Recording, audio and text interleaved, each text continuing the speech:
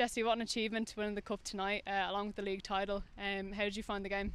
Yeah, um, obviously Athlone put it up to us. They're an incredible team. They came on so much since last season, so credit to them as well.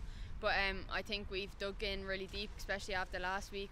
You know, I think we have uh, uh, the most games played this season, especially with Champions League. So the girls dug deep, and obviously we finished off strong.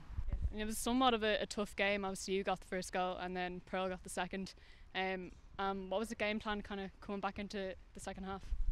Um, we obviously knew that Athlone were going to come out raring to go because they were 2 0 down. They had nothing to lose, but um, I think we defended well. They had a few chances, as any team would, but we, we stuck it out and we got the win and league title, cup champs into the, the Champions League again next season.